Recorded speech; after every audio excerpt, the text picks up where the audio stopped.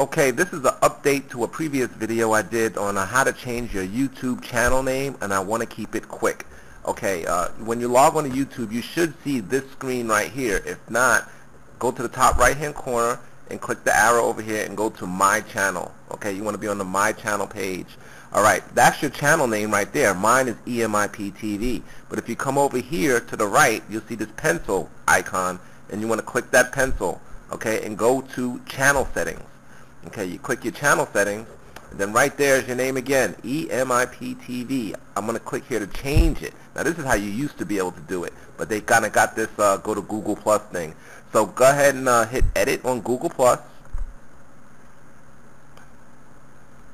and you go into Google Plus and you might get a screen like this. You might not just click off of it or whatever. And then here is your channel name once again. There's no icon to click on. As you can see, it looks like you can't even change it, but hover the mouse over it and you can change your name. Just click on it and then there it is. You type in whatever you want it to say. And that's how you change your YouTube channel name.